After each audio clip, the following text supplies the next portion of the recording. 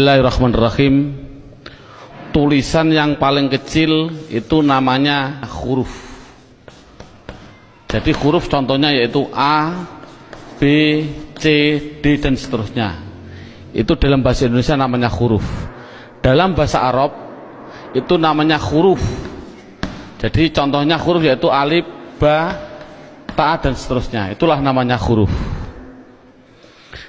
Kemudian di atas huruf yang kedua itu ada yang namanya dalam bahasa Indonesia namanya kata. Jadi kata itu apa? Kata susunan dari beberapa huruf yang mempunyai arti contoh.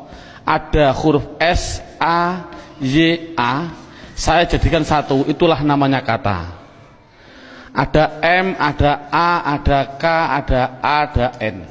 Saya jadikan satu namanya kata ada R, ada O, ada T, ada I. Namanya roti itu namanya kata. Dalam bahasa Arab itu namanya kalimah.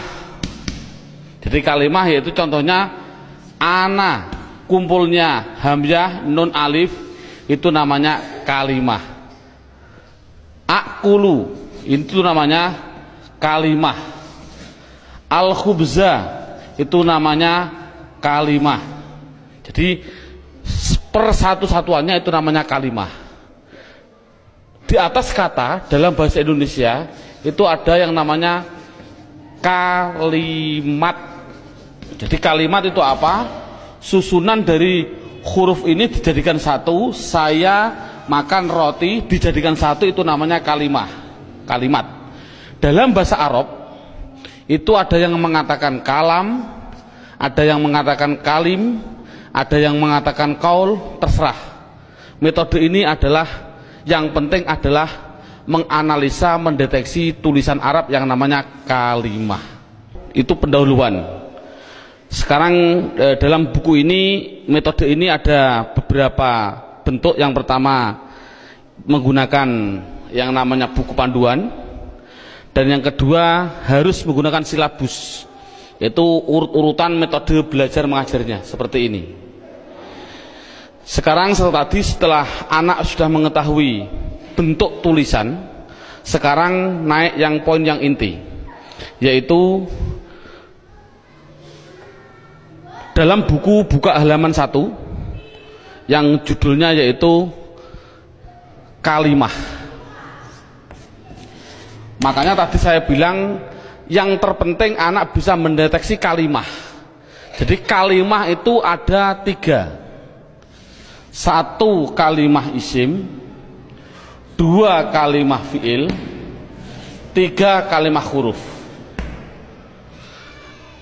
Anak dikasih suatu gambaran bahwasannya tulisan dalam Al-Quran di dunia di Quran khususnya itu ratusan ribu kalau di dunia itu adalah jutaan miliar, miliaran juta. Berarti jutaan miliar itu jumlah kalimah. Contoh saya mencontohkan. Ada tulisan Arab Alhamdulillahi Robbil Alamin. Ini kita deteksi, yang inilah namanya kalimah. Lillahi itu namanya kalimah, Robbi namanya kalimah, Alamin namanya kalimah. Padahal tulisan Arab, apa pun yang namanya kalimah pasti kalau tidak isim fil huruf. Jumlah kalimah miliaran triliun pasti hanya ada tiga. Kalau contohnya alhamdulillah harus dijawab oleh anak kalau tidak isim fi'il huruf. Lillahi kalau tidak isim fi'il huruf. Robbi kalau tidak isim fi'il huruf. Alamin kalau tidak isim fi'il huruf. Selamanya. Makanya tulisan Arab di dunia itu sebenarnya hanya ada tiga yaitu isim fi'il huruf. Makanya sering saya ngasih uh, ika pemikiran pada anak tulisan apa pun tulisan Arab hanya ada tiga. Masuk tiga kok tiga tahun. Makanya menurut metode saya insya Allah saya mengatakan kalau hanya ada tiga berarti per satunya itu dua jam makanya cukup enam jam insya Allah praktek baca kitab. Amin Allahumma amin. Ini sekarang setelah anak sudah tahu jumlah kalimat ada tiga. Sekarang bagaimana saya mengetahui alhamdulillah itu isim fi'il atau huruf. Lillahi itu isim fi'il atau huruf. Makanya akan saya ulas satu persatunya apa bagaimana cara mendeteksi isim? Itu fi'il itu huruf. Buka pada bukunya halaman 2 dalam bukunya halaman 2 dilihat judulnya cara mengetahui isim. Jadi cara mengetahui isim itu dengan dua cara satu mengetahui satu mengetahui artinya. Kalau memang artinya itu kok menunjukkan suatu kata benda atau suatu kata sifat pasti itu dikatakan isim. Jadi isim itu kalau tahu artinya itu menunjukkan benda atau menunjukkan suatu sifat pasti isim sama dengan fi'il nanti juga sama cara mengetahuinya fi'il dengan dua cara sama satu mengetahui artinya kalau memang artinya menunjukkan suatu kata kerja, itu pasti fiil. Nah di dunia ini kan hanya ada tiga.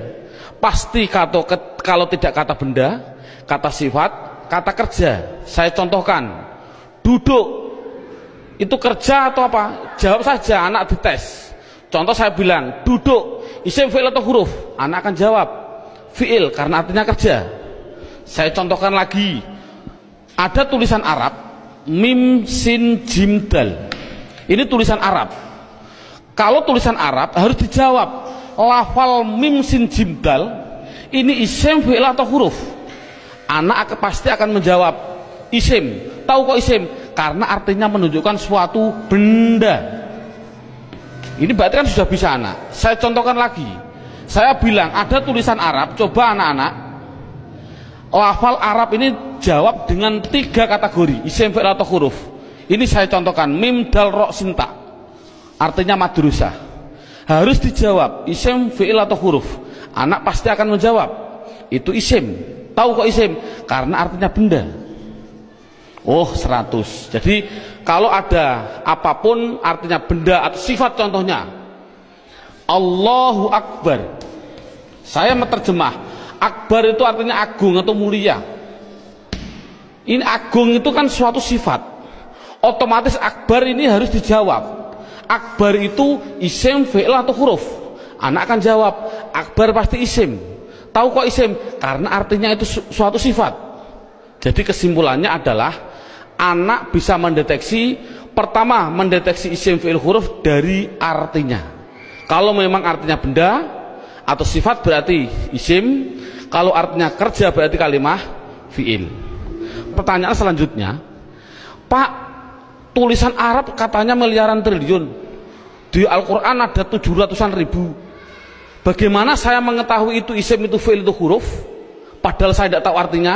Oh, kalau tidak tahu artinya, lihat buku panduannya, yaitu lihat halaman 3. Dalam buku halaman 3 judulnya adalah mengetahui tanda-tanda kalimah isim.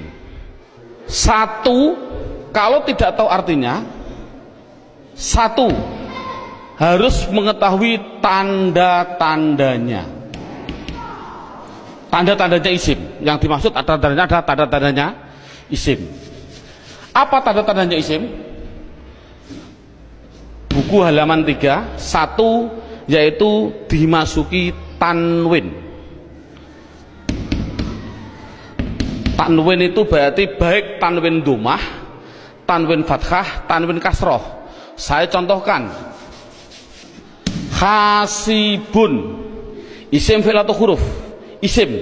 Tahu kok isim? Karena ada tanwin untuk anak kecil mungkin kelas 6, kelas 5 diniyah tanwin itu pasti di belakang. Tulis saja disuruh di belakang. Bukunya tambah situ silahkan. Yang penting tanwin pasti di belakang. Baik tanwin domah tanwin kasroh tanwin fathah. Saya contohkan hasibun. Ini tulisan Arab harus dijawab. Isim fi'il atau huruf. Artinya apa? Saya nggak tahu. Kalau tidak tahu ini harus dijawab isim. Mengapa ke isim? Karena ada tanwinnya. Saya menulis lagi. Sohi bin isim fi'il atau huruf. Isim. Tahu kok isim? Karena ada tanwinnya. Berarti anak sudah bisa mendeteksi yaitu tanda-tanda yang pertama kalimah isim yaitu dimasuki tanwin. Sekarang yang nomor dua. Tanda-tanda isim yang nomor dua itu kalau ada tulisan Arab depannya dikasih al. Makanya dalam bukunya hanya dimasuki al. Garis miring di depan. Jadi kalau ada tulisan Arab depannya ada alif dan lam pasti itu isim. Contoh alhamdu. Harus dijawab. Isim fi'il atau huruf? Jawabnya adalah isim. Tahu kok isim? Karena dimasuki al. Ar-rahim. Isim fi'il atau huruf isim tahu kok isim? Karena ada al. Dan seterusnya. Sekarang yang ketiga. Tanda-tanda isim yang ketiga yaitu dimasuki yang namanya huruf jer. Huruf jer itu apa sih? Huruf jer itu adalah tertentu. Lafalnya tertentu yaitu ada tulisan itu berupa apa? Min. Ila. An. Ala. Dan seterusnya di dalam buku sudah ada min artinya dari ila artinya ke an artinya dari ala artinya di atas dan seterusnya. Jadi kalau ada tulisan Arab dimasuki min yang mana huruf jar itu pasti tempatnya di depan. Di depan suatu kalimah. Mesti itu adalah kalimah isim. Contoh. Saya mencontohkan ada tulisan Arab. Zahaba Zaidun ila suk Daba zaitun ila suk Anak saya tes satu persatu dulu. Zaitun. Isim fil atau huruf? Isim, tahu kok isim? Karena ada tanwinnya. Suk. Isim fil atau huruf? Isim, tahu kok isim? Karena dimasuki huruf jar yang namanya ila. Artinya apa saya suk? Tidak tahu, tidak penting. Ini kan tidak penting yang penting itu bisa mendeteksi itu pasti kalimah isim. Contohnya lagi ada contoh yang namanya ada roja saya contohkan roja kembali. Siapa yang kembali? Bakrun siapa bakar? Kembali min dukan min dukan. Bakrun isim fil atau huruf? Jawabnya isim. Tahu kok isim? Karena ada tanwin min dukan dukan itu isim fil atau huruf? Isim. Tahu kok isim? Karena dimasuki huruf jer min. Artinya apa? Tidak penting. Jadi makanya itu adalah tanda-tanda kalimah isim. Yang ketiga yang keempat tanda-tanda isim yang keempat di situ saya tulis. Saya hapus dulu. Tanda-tanda isim yang keempat yaitu dimasuki namanya huruf kosam Kosam itu artinya sumpah. Kosam artinya sumpah. Di sini huruf kosam hanya ada tiga, wawu, ba, ta. Untuk anak pemula, jangan dicontohkan selain lafal Allah, jangan. Untuk pemula jangan. Contoh, wal asri. Asri ini adalah isim, tahu kok isim karena ada wawu kosam, tidak perlu sebenarnya. Yang penting itu adalah wawu kosam nanti contohkan saja wallahi. Berarti Allah itu isim karena apa? Dimasuki wawu ini. Itu aja masih bingung untuk anak didik. Jadi kesimpulannya kosam tidak begitu penting. Yang penting yang terakhir ini. Tanda-tanda isim yang terakhir yang kelima yaitu dimasuki dimasuki yang namanya mamimu. Contohkan ini contoh mamimu di sini dalam buku panduan di situ lihat halaman 65 halaman 65 dalam bukunya dibuka. Contohnya halaman 65 yaitu fa'ala yaf ulu fa'lan wa maf'alan fahuwa fa'ilun wadaka maf'ulun. Saya ambil-ambil yang penting-penting saja. Uf'ul la taf'ul. Maf'alun maf'alun dua kali ini. Maf'alun maf'alun. Mif'alun. Cara menerangkan pada anak bahwasannya fa'ala yaf'ulu fa'lan ini adalah dalam bahasa pramuka namanya kata sandi Kalau dalam bahasa komputer namanya keyword atau password. Atau password, katakan saja password. Passwordnya itu apa? Itu namanya fa'ala. Karena apa?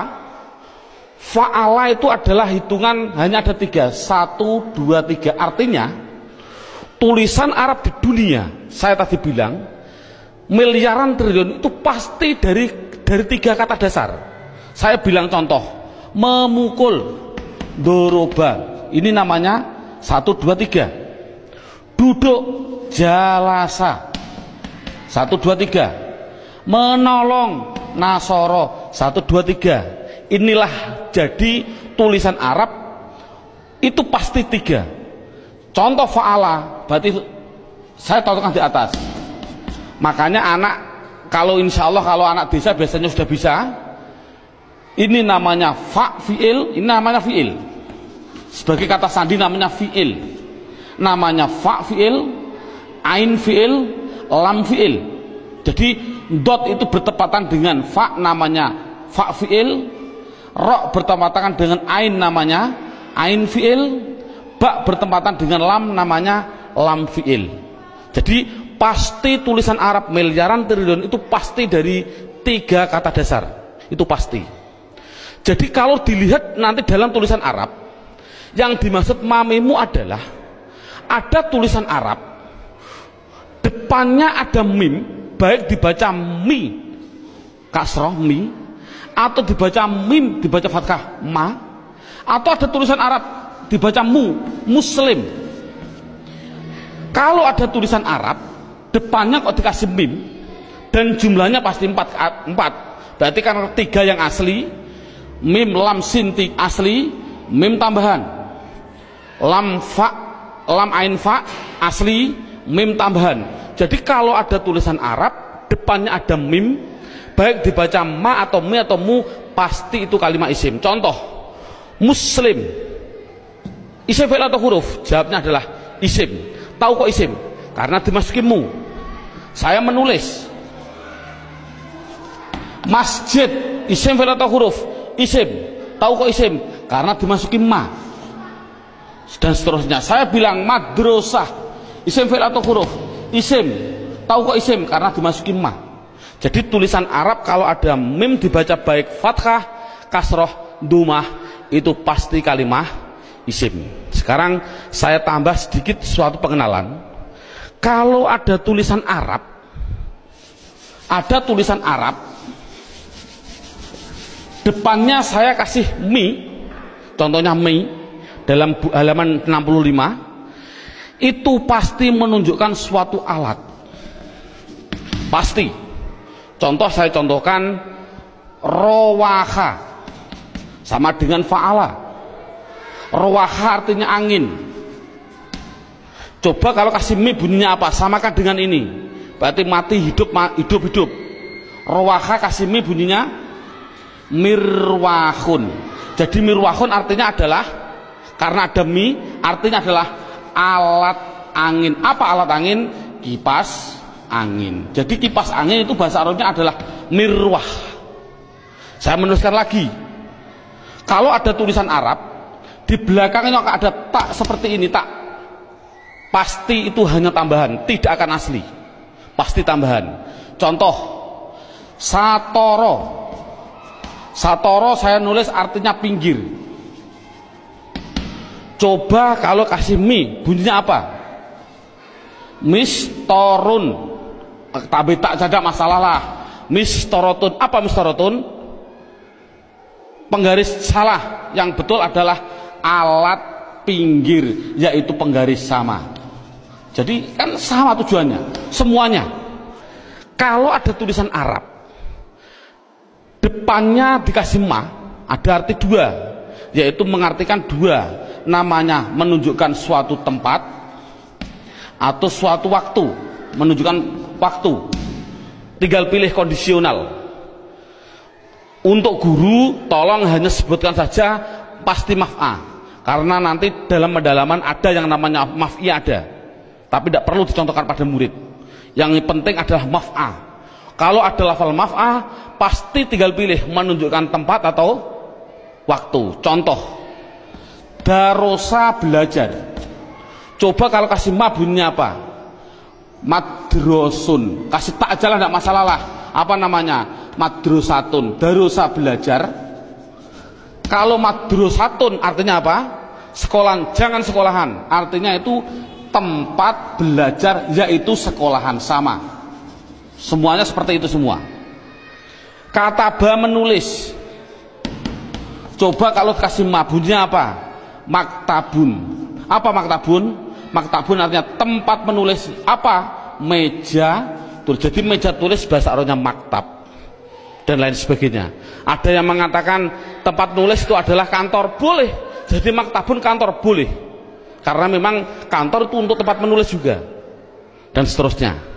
Setelah itu yang penting anak bisa mendeteksi kalimat isim. Ini alhamdulillah cukup sampai ini minimal anak bisa mendeteksi media harokat pasti isim. Karena apa? Kita semua bisa melihat yang namanya isim di media harokat itu pasti ada tanda-tandanya itu semua kecuali satu yang namanya mudof ini murid tidak perlu diterangkan ini khusus spesial guru. Karena semua media harokat bisa dideteksi itu. Saya bisa mendeteksi. Kecuali satu apa yang namanya? Mudof berarti mudof apa mudof itu? Nanti. Tidak perlu kita terangkan pada anak. Ini yang pertama.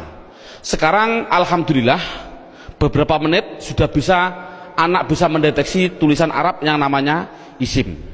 Sekarang kita mendeteksi yang kedua yang namanya kalimah fi'il kita mendeteksi yang kedua namanya kalimah fi'il. Tadi saya bilang kalimah ada tiga isim fi'il huruf.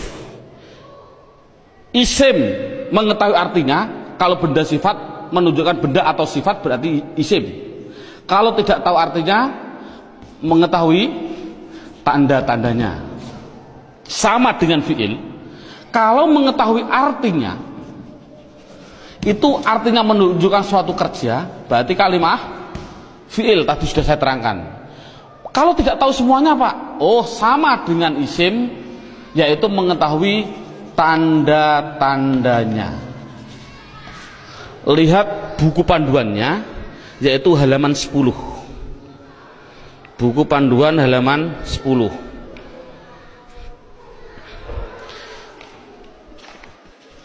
tanda-tanda kalimat isim. Satu dimasuki kot. Di situ saya. Satu dimasuki kot. Dimasuki kot. Saya menulis saya biar anak karena anak kecil mungkin biar jelas saya suruh di depan. Tempatnya itu di depan. Jadi kalau ada tulisan Arab kok ada depannya ada lafal kot pasti setelahnya itu fiil. Contoh saya mencontohkan. Allahu Akbar Allahu Akbar. Kodok komati sholah kodok komati sholah. Ini adalah lafal kot koma itu mau tidak mau harus saya jawab itu kalimat fiil. Tahu kok fiil? Karena dia dimasuki kot. Ini kan paling mudah. Jadi kalau ada dimasuki kot itu namanya kalimah fiil. Apa artinya koma? Tidak penting. Yang penting tahu itu adalah fiil. Tanda-tanda yang kedua yaitu dimasuki yang namanya sin. Tolong lafal sin tidak usah diterangkan. Karena apa kok menerangkan? Wong saya menerangkan fi'il saja belum tahu, saya contohkan. Lafal saya kurus sufa. Yakulu itu adalah fi'il karena apa? Dimasuki sin, tidak akan mungkin paham mana. Makanya sin adalah ditinggal dulu. Karena dia belum bisa mengendeteksi semuanya. Jadi sin saya tinggal. Tanda-tanda fi'il yang ketiga. Yaitu dimasuki yang namanya saufa. Dimasuki yang namanya saufa. Tulis saja sama, sin yo di depan, saufa ya di depan sama contoh yang yang biasa yang yang sering didengarkan oleh anak. Contoh saya bilang kala saufata lam tak lamun itu pasti saya mengatakan fiil. Karena apa? Karena dimasuki saufa. Artinya apa? Tidak penting. Karena sudah tahu itu artinya saufa. Saufa itu masuk pada kala kalimat tadi mesti kalimat fiil. Ini paling mudah. Yang terakhir tanda-tanda fiil yaitu dimasuki yang namanya tak taknis. Saya suruh menambahi pada anak. Tak taknis itu saya bilang, saya tulis di belakang, tempatnya itu di belakang dan berupa tak seperti ini yang mati. Orang Jawa bilang tak perahu lah. Jadi tak perahu. Ini ono tak perahu seperti itu pasti itu namanya kalimah fiil. Contoh. Contohnya ini. Kot komat as aslinya itu adalah koma itu fiil dengan dua tanda-tanda. Satu dimasuki kot, dua dimasuki ini. Ini tak ini di belakang masuk pada kalimat ini. Jadi ada dua tanda-tanda. Coba sholat isim fil atau huruf? Isim. Tahu kok isim? Karena ada al. Oh mudah. Namun sekali lagi ini mulai metode saya adalah nanti menggunakan yang namanya metode hantu. Ini contohnya. Al ini adalah alif dan lam. Yang namanya alif itu pasti mati. Yang namanya alif pasti mati ada mati ketemu mati itu namanya hantu saya tulis mati ketemu mati namanya apa hantu orang Arab tidak senang hantu. Akhirnya biar ini hidup akhirnya dikasih biar berdoa. Bunyi apa? Kotko matis solah bukan kotko mat solah lagi tapi kotko matis solah saya contohkan lagi. Lafal min ketemu masjid. Bunyinya apa? Min al masjid tidak boleh karena ini ada al alif mati mati ketemu mati namanya hantu tidak boleh harus dihidupkan biar berdoa bunyinya minal masjidi. Contoh lagi an ketemu madrusah bunyinya apa? Anil kok bisa anil? Oh karena ada mati ketemu mati namanya hantu. Ini sekali lagi orang Arab itu tidak senang atas hantu.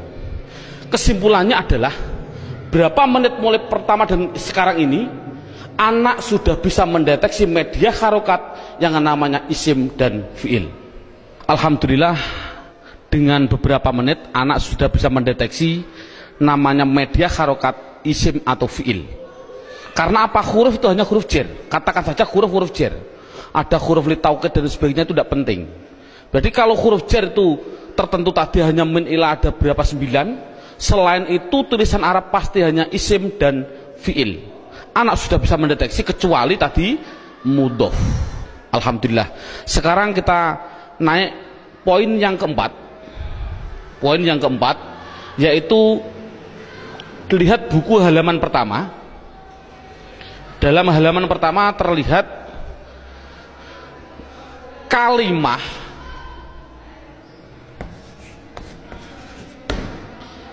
kalimah isim fiil huruf ini ada gambar kalimah pasti butuh kepada yang namanya nah ini garis dari suntal namanya perlu. Dalam bahasa Indonesia namanya perlu bahasa Indonesia-nya orang Jawa namanya butuh. Butuh itu kemarin saya dari Sumatera butuh itu artinya sama seperti di orang Kalimantan Dakar naudzubillah mohon maaf sekali bahasa kasar perlu. Berarti kalimah itu pasti memerlukan yang namanya i'rab halaman pertama dilihat i'rab itu ada empat. Satu namanya i'rab rofa dua namanya i'rab nasob tiga namanya i'rab jer yang keempat yaitu namanya i'rab jazm. Jadi kalimah itu pasti memerlukan yang namanya i'rab padahal i'rab ada empat rofa, nasab, jer, jazm dan perlu diketahui kalimah isim itu butuhnya hanya butuh tiga bukan empat. Fiil butuhnya yaitu tiga bukan empat. Huruf oh sementara huruf tidak butuh. Jadi yang butuh jadi yang butuh i'rab itu yaitu khusus yang namanya kalimat isim dan kalimat fiil. Apa i'rab itu nanti saya terangkan. Yang penting isim itu butuh tiga. Apa namanya? Dan perlu ditulis dulu.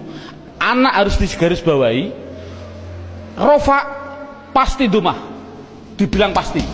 Karena pengalaman saya pada waktu kecil Pak Guru menerangkan Rofa yaitu domah wawu alif nun itu saya juga bingung makanya saya melihat dalam jurumiyah ada namanya alamat asli. Menunjukkan bahwasanya anak saya punya insting oh berarti mengapa musonaf kok mengatakan asli domah inilah mungkin metode saya harus mengikuti seperti ini. Jadi setiap anak pastikan yang namanya rofa pasti domah yang namanya yang namanya nasab pasti fathah. Yang namanya jer pasti kasroh yang namanya jazm pasti sukun. Dipastikan dulu. Jadi kalau sekarang kita lanjutkan yang butuh i'rab itu adalah isim butuh tiga apa-apa. Isim butuhnya yaitu rofa nasab jer. Ini kebutuhan isim. Jadi isim butuhnya hanya tiga rofa dumah, nasab, fathah, jar, kasroh tidak butuh kepada jazm, tidak butuh. Ini penting.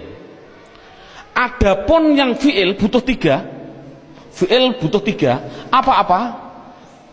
Rofa, nasab, dan jazm. Tidak butuh kepada yang namanya jer.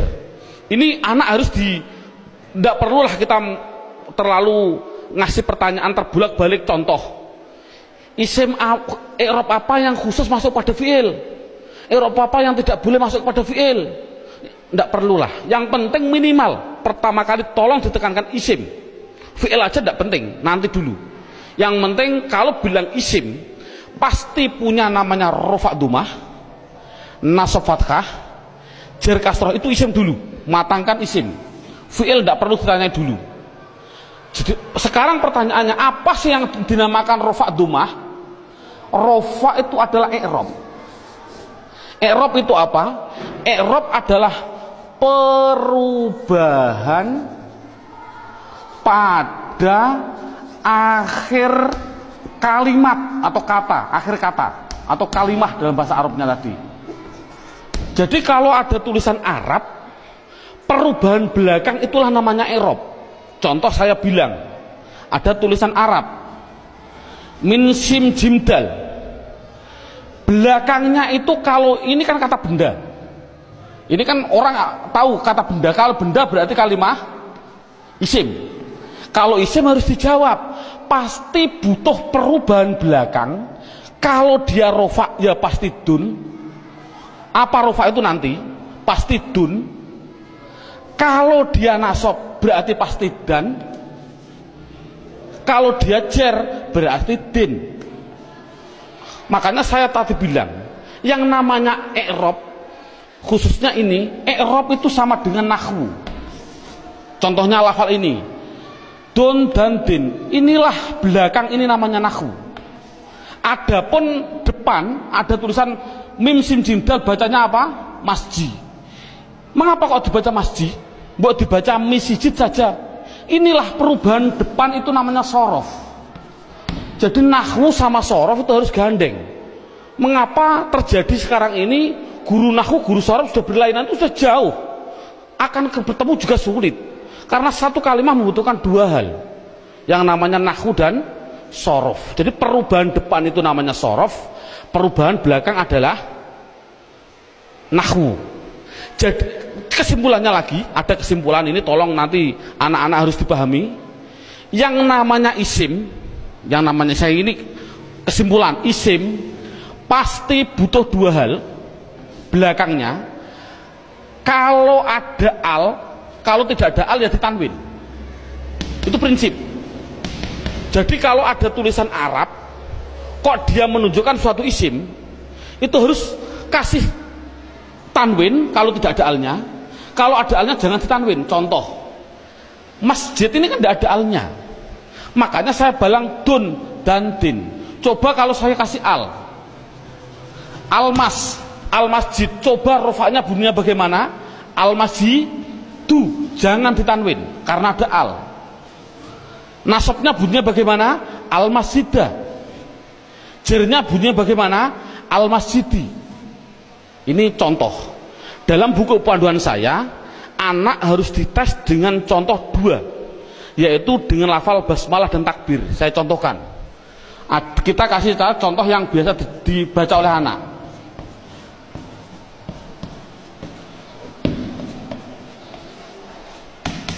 Dideteksi dulu isim fi'ilnya. Coba rohim lafal belakang ini. Isim fi'il atau huruf? Isim. Tahu kok isim? Ada al. Rohman. Isim fi'il atau huruf?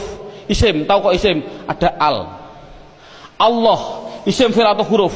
Isim. Tahu kok isim? Ada al silahkan. Ini ada khilafiyah ulama. Ada yang mengatakan jangan bilang al. Ini adalah ismudat tidak boleh dirubah-rubah. Tapi ada ulama yang mengatakan memang al. Dari lafal aliha dikasih al. Jadinya alifnya dikasih panjang. Allah. Nggak, untuk anak kecil biarlah. Itu bilang isim karena ada al. Silahkan ismi ini isim. Tahu kok isim karena ada huruf jerba. Ini memang sulit. Anak pemula memang sulit. Tidak begitu penting. Yang penting dikasih tahu ismi isim karena ada huruf jer masuk. Kalau ini mengatakan isim ini isim karena ada al ini isim karena isim karena ada al ini isim karena ada al. Coba harokannya gimana? Bismi. Duh, saya baca kasroh berarti dia menunjukkan rufa nasab atau jer jer karena kasroh oh 100 bismillahi saya kasri hi berarti di kasroh isim ada kasroh oh masuk karena dia jer berarti mengapa kok jer oh nanti belum waktunya bismillahirrohmanirrohim mengapa saya bilang nih Rafa nasab atau jer? Jer. Oh, 100. Teruskan. Bismillahirrahmanirrahim. Pasti anak jawab khim. Jawab saja mustahil. Karena sukun itu miliknya fi'il. Ini kan sukun. Sukun itu adalah miliknya kalimah. Sukun itu miliknya kalimah fi'il. Padahal ini isim. Berarti ini milik isim tidak boleh jadi salah ada tulisan Arab Bismillahirrahmanirrahim. Mimnya kok disukun salah. Mestinya itu kalau dia isim, kalau tidak rohimu, ya rohimah ya rohimi. Pasti itu. Oh kebetulan di dalam Al-Quran tulisannya adalah mi. Ya berarti jer. Dari mana kok jer? Yang penting dia kasroh itu jer.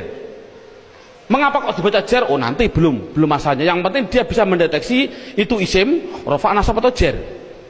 Ini kan anak sudah lumayan. Dengan berarti gambaran rohim ini adalah menggambarkan anak biar tahu, oh isim tidak boleh ditanwin. Loh kok disukun pak?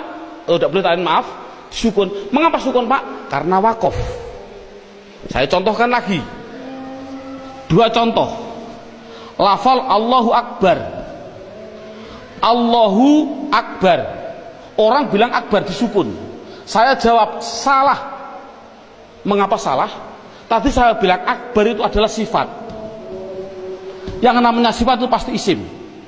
Yang namanya isim tidak mungkin dia disukun. Di dalam tulisannya kalau begini. Karena apa? Sifat isim tidak boleh sukun. Karena sukun itu miliknya fi'il. Kalau isim itu pasti kalau tidak ru ya roh ya ri. Mengapa tidak ditanwin? Nanti. Yang jelas ini contoh Allahu Akbar. Allah isim tahu isim ada al? Rofa nasab atau jer? Rofa tahu kok rofa karena duma Akbar yang betul adalah akbaru. Jadi mengapa kok dibilang bar? Karena wakof kalau nulis adalah ru yang betul makanya sering saya kasih pertanyaan bagaimana hukumnya ada orang sholat bilang Allahu Akbaru sah nggak? Jawabnya adalah sah karena nakunya seperti itu. Namun yang terbaik memang adalah wakaf. Seperti ini. Bismillahirrahmanirrahim karena wakaf. Jadi intinya adalah yang namanya i'rab ada empat rofak nasab jar jajem khusus kita tekankan pada isim yang namanya isim belakangnya pasti rofak dumah nasab fathah jar kasroh itu kesimpulannya sekarang silabusnya poin yang kelima judulnya yaitu pendalaman isim. Buka halaman satu. sama halaman satu yaitu lihat halaman satu isim dibagi dua. Ada yang namanya isim mabni ada yang namanya isim mu'rob sekali lagi isim mabni dan isim mu'rob dibagi dulu. Apa yang namanya isim mabni? Dalam buku halaman 2 ada. Mabni itu adalah mabni itu apa? Mabni adalah harokat belakang belakang harokat belakang itu tetap. Saya tulis tetap. Itulah namanya mabni. Jadi mabni itu apa? Mabni harokat belakang tetap. Mu'rob itu apa? Mu'rob yaitu harokat belakang berubah-ubah. Harokat belakang berubah-ubah. Jadi itu kesimpulannya. Jadi isim harus dibagi dua isim mabni dan isim mu'rob isim mabni belakangnya tetap isim mu'rab belakangnya berubah-ubah. Isim mabni sekarang diperinci satu persatu. Dalam silabus ada isim mabni yaitu satu namanya isim domir. Saya tulis satu namanya isim domir. Tolong dalam hal ini anak tidak usah diperdalami yang namanya pada waktu pengalaman saya dulu kecil Pak Guru bilang domir itu ada dua. Seperti contoh seperti ini. Domir ada dua. Domir baris dan domir mustatir. Baris mutasil ada dua baris mut baris munfasil ada dua mutasil ada empat dan domir mustatir ada yang jawas dan ada yang wujub. Ini enggak dulu saya suruh menghafalkan ini domir saja. Itu mungkin satu bulan. Lah menurut saya kita ambil yang pokok dulu. Dengan metode ini adalah metode saya bilang domir yang berupa domir baris munfasil rufa. Yaitu pendalamannya dalam buku lihat halaman buku buku yaitu dilihat halaman 4 halaman 4 dilihat judulnya isim domir. Di situ saya tulis yaitu lafal. Huwa huma hum. Iya huma huna anta antuma antum anti antuma antunna. Yang terakhir ana nahnu jadi jumlahnya 14 1 2 3 6 9 12 14 13 14 jadi jumlahnya saya bilang isim domir adalah jumlahnya 14 contohnya huwa mahum yang namanya domir itu adalah kata ganti. Dalam buku huwa itu kata ganti dari siapa? Kata ganti dari dia. Dia siapa? Dia laki-laki satu. Ini yang namanya goib. Jadi kesimpulannya huma kata ganti dari siapa? Dia laki-laki dua yang goib. Hum kata ganti dari apa? Mereka. Mereka atau mereka. Siapa mereka? Laki-laki tiga ke atas yang goib. Jadi kesimpulannya ini adalah namanya namanya laki-laki. Ini berarti satu dua tiga ke atas ini perempuan. Tapi ini adalah semuanya adalah goib sekali lagi ini adalah goib. Berarti iya dia perempuan. Satu goibah atau goib? Goibah. Huma dua perempuan goibah. Huna tiga ke atas perempuan goibah. Jadi inti kesimpulannya adalah tiga ini laki-laki tiga ini perempuan yang semuanya adalah katakan goib. Anta kata ganti siapa? Dari kamu. Kamu siapa? Kamu laki-laki satu yang hadir. Saya simpulkan intinya ini adalah laki-laki yang anti antuma antuna saya simpulkan perempuan namun dua dua-duanya ini namanya hadir. Namanya hadir ana artinya saya nahnu artinya kita. Penjelasannya mengapa domir dikatakan mabdi? Ini anak dijelaskan dengan dua pendekatan. Contoh lafal huwa. Huwa itu kata ganti siapa? Dari dia. Dia satu orang laki-laki satu orang Inggris kata gantinya juga dia tetap inilah akhirnya wa. Selamanya akhirnya dibaca wa. Makanya dikatakan mabni adalah belakangnya tetap yaitu tetap dibaca fathah. Dia orang Amerika ya sama tetap wa. Orang Indonesia ya tetap wa.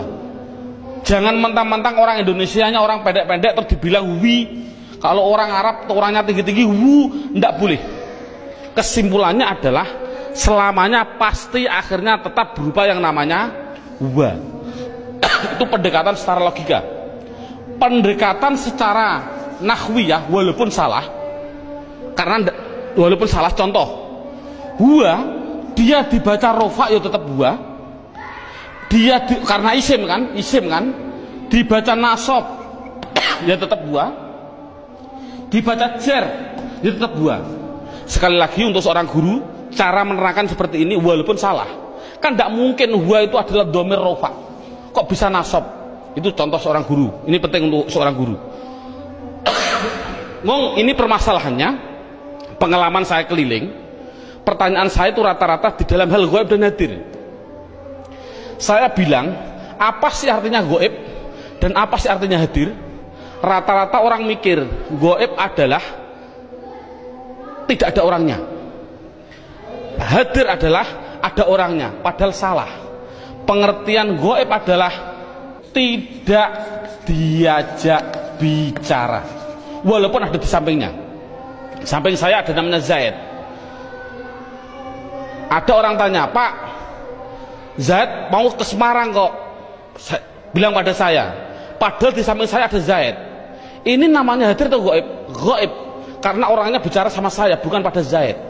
Jadi kata gantinya pada Zaid adalah wa. Ini menunjukkan artinya goib yaitu jangan diartikan tidak ada orangnya diartikan apa? Tidak diajak bicara. Kalau hadir ya berarti diajak bicara. Itu kesimpulannya adalah mabni harokat belakangnya selamanya contoh mereka. Selamanya mesti hum. Disukun selamanya. Jadi saya tulis di situ pertama isim domir mabni jumlahnya adalah 14 buka seterusnya bukunya halaman 5 yang kedua mabni yang kedua yaitu yang namanya di situ saya tulis isim isyarah isim isyarah tidak perlu kita terlalu banyak mencontohkan. Isim isyarah itu kita contohkan hanya yang mudah-mudah saja. Contoh isim isyarah ada tiga. Ada yang namanya korib ada yang namanya wasit ada yang namanya bait korib artinya dekat. Wasit artinya sedang. Bait artinya jauh. Contoh orang bilang isyarat menunjukkan korep iki orang Jawa bilang iki kalau sedang iku kalau jauh kai itu orang Jawa bilang. Tapi kalau orang Sunda iya eta itu ya salah. Itu itu milik orang Indonesia bukan orang bukan orang Sunda sebenarnya. Tapi tidak orang sudah tidak punya jauh. Sama dengan kita. Ini ndak masalahnya adalah contoh korib kalau laki-laki hadza kalau perempuan hadhihi dengan dua contoh saja ini. Contoh lafal hadza. Siapa ini selamanya dibaca da akhirnya da walaupun yang ditanyakan seorang kiai seorang gubernur seorang presiden tetap siapa ini? Man hadza selamanya dibaca da belakangnya. Jangan berupa di atau du. Makanya itulah namanya makbli saya tidak usah menerangkan wasit bait sudah ada. Yang jelas contohnya yaitu dalam buku panduannya sudah saya tunjukkan yaitu isim isyarah ada tiga hadha hadihi. Kalau sedang yaitu lafal daka dan dalika. Daka dan dalika. Eh, daka dan tilka saya contohkan. Daka dan tilka. Kalau jauh saya contohkan hanya dua dalika dan dan ulaika. Jadi jumlahnya yaitu ada berapa? Dalika ulaika. Jumlahnya berapa? Satu dua tiga empat lima enam. Saya katakan isim isaroh jumlahnya adalah hanya enam. Walaupun nanti pendalamannya banyak. Seorang guru tolong hanya seperti itu dulu. Terusnya mabni yang ketiga yaitu yang namanya isim mausul. Buka dalam bukunya halaman yang ke isim mausul kata sambung. Datanglah Zaid yang mana? Ja'a Zaidun alladhi. Ini isim mausul itu hanya tertentu lafalnya tertentu sudah dalam bukunya ada yaitu lafal alladhi alladina alladhi alladhi alladani alladina contoh saya tidak usah nulis. Mohon dilihat contoh ini isim mausul tertentu. Alladhi alladani alladina allati allatani allati. Cukup sebutkan hanya enam saja yaitu biar anak hanya tahu isim mausul jumlahnya hanya ada enam mabni yang keempat.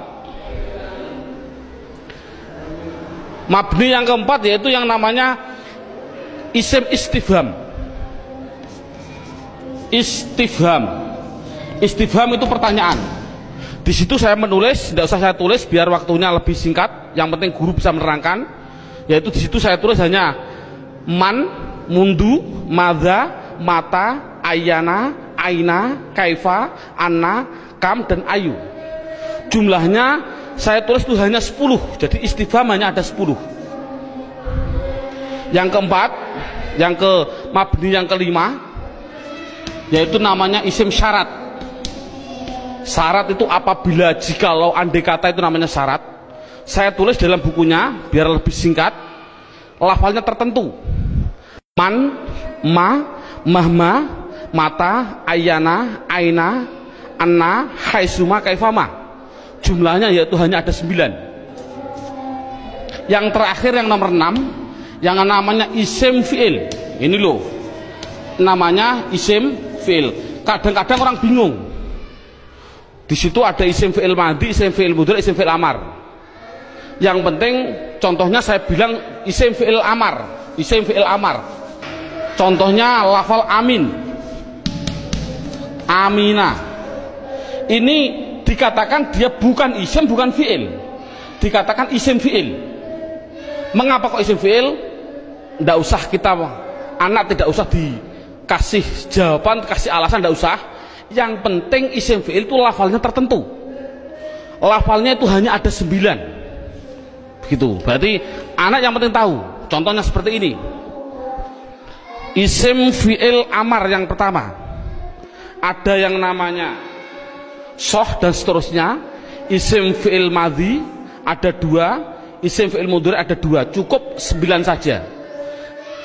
Inti kesimpulannya isim mabni itu jumlahnya adalah 14 6 6 10 9 9 jumlahnya adalah 54 padahal tadi saya bilang tulisan Arab yang namanya isim yang namanya isim di dunia jumlahnya kalimat isim adalah satu miliar miliar miliar triliun. Itu jumlahnya tulisan Arab di dunia itu satu miliar miliar triliun. Kalau isim jumlahnya miliaran triliun dibagi dua mabni dan mu'rob. Yang namanya mabni yaitu 54 selainnya pasti mu'rob.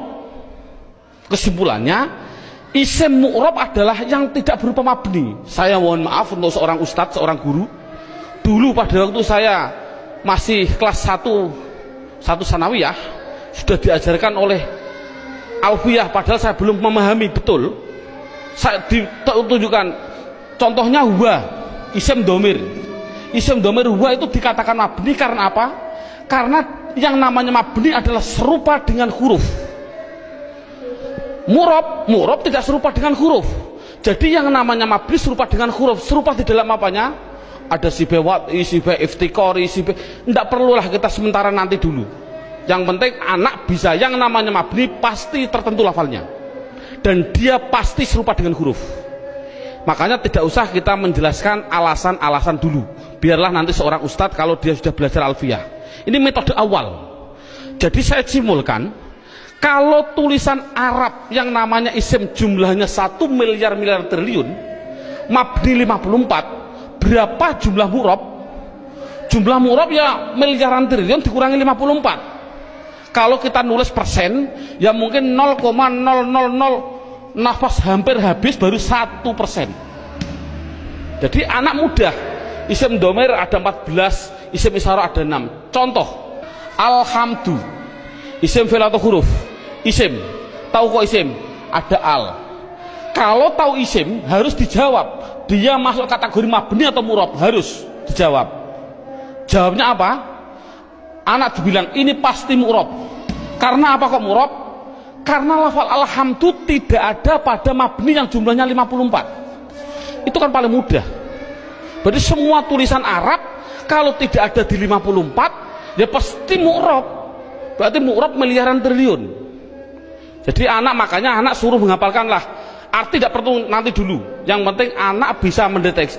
Itu adalah mabni. Jumlahnya 54 apa-apa. Huwa umahum dan seterusnya. Isim isyarat ah dihafal isim mausul hafal. Selain itu pasti murab contoh lagi. Alhamdulillahirabbil alamin. Isim fi'il atau huruf? Isim tahu kok isim ada al. Kalau isim jawab mabni atau murab itu pasti pertanyaan itu harus. Jawabnya adalah mu'rob. Tahu kok mu'rob? Karena tidak ada di mabni gitu saja. Paling simpel. Mengapa kok murab karena tidak ada di mabni.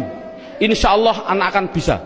Berarti bisa mendeteksi media harokat itu isim mabni atau murab semuanya. Mulai dari bismillah murab karena tidak ada di mabni. Bismillahi Allah murab karena tidak ada di mabni. Bismillahirrahman rahman mesti murab karena tidak ada di mabni. Rohim murab karena tidak ada mudah. Jadi anak sudah bisa mendeteksi itu mabni dan itu mu murob. Sekarang pendalaman yang terakhir pendalaman isim yang terakhir yaitu di dalam hal mu'rob. Dalam buku panduannya lihat halaman 8 lihat halaman 8 halaman 8 sudah tertulis saya tulis di situ halaman 8 halaman 8 sama halaman 1 sama. Sekali lagi halaman 8 dan halaman 1 adalah sama. Yang namanya mu'rob itu tadinya ada 6 6 jumlah total 54 sekarang enggak yang namanya mu'rob satu nah ada yang namanya mufrad dua ada yang namanya tasniyah yang ketiga ada yang namanya jamak mudakar salim. Yang keempat ada yang namanya jamak jamak muanas salim. Yang kelima nah ini saya batasi cukup. Mu'rob yang penting anak bisa empat. Mufrad tasniyah jamak mudakar salim jamak muanas salim yang kelima sampai yang kesembilan tidak penting. Sekali lagi metode ini adalah tidak penting. Karena apa? Karena mu'rob yang empat ini itu sudah mendominasi dalam tulisan Arab 80% dari tulisan Arab. Itu pasti terjadi dari empat. Makanya anak harus ditekankan di dalam empat tadi. Berarti sekali lagi mu'rob yang jumlahnya miliaran triliun dikurangi 54 itu harus dikatakan harus dimasukkan di antara empat ini. Berarti di antara empat ini mufrad tasnyah jamak mudzakkar salim muannats salim. Sekarang anak diterangkan. Apa sih yang namanya isim mufrad lihat ini. Mufrad itu bahasa Arab. Artinya apa mufrad artinya satu.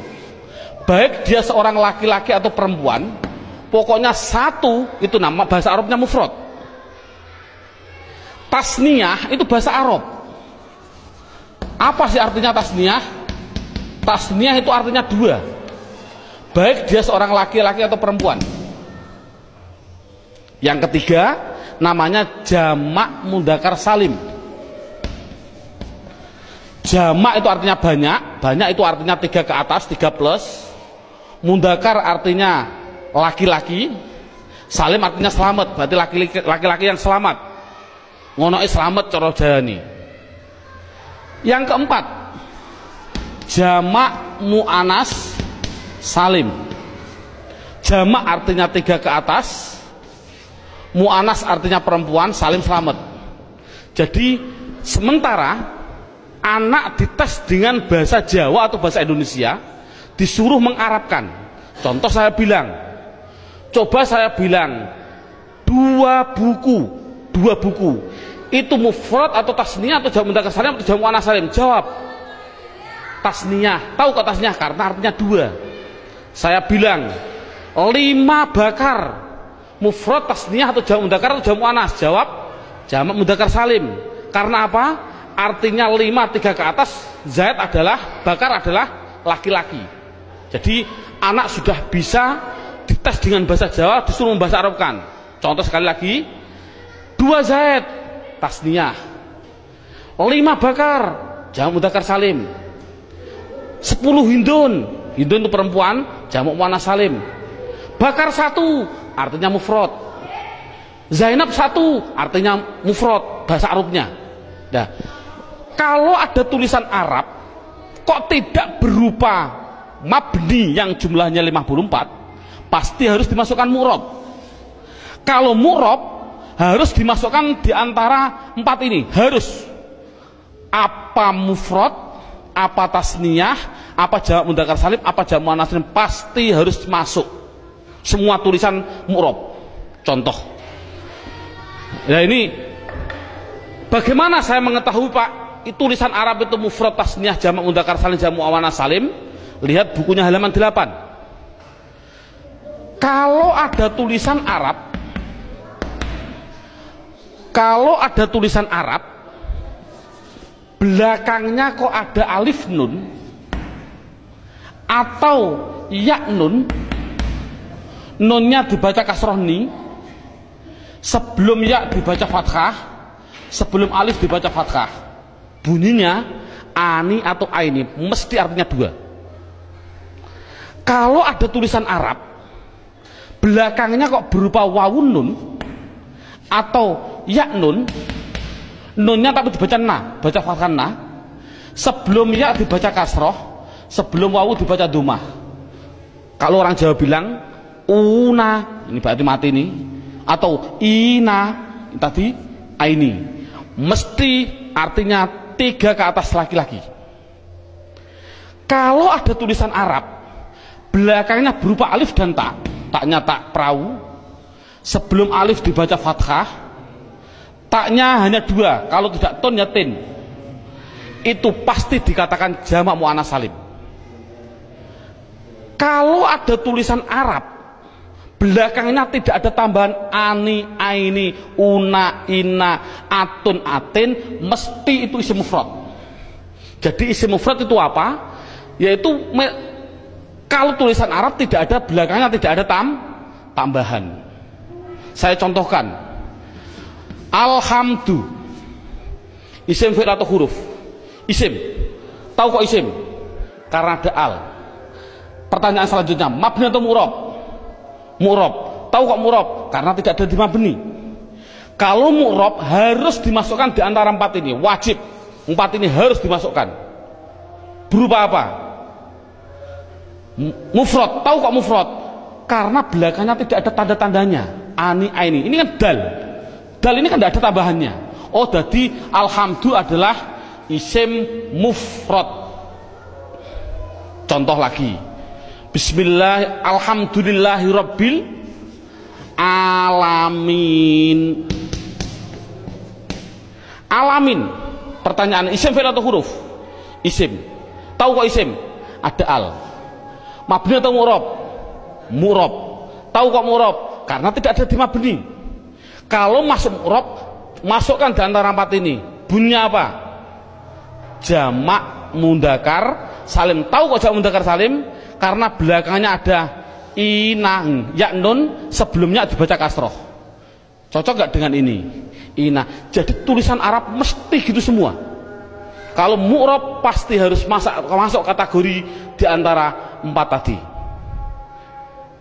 ini Alhamdulillah berapa jam ini anak sudah bisa 100% mendeteksi isim dan meng mengkategorikan di antara mabni dan murab. Subhanallah sudah bagus. Ini untuk apa isim tadi? Oh nanti. Itu adalah setelah tiga jam. Kita istirahat dulu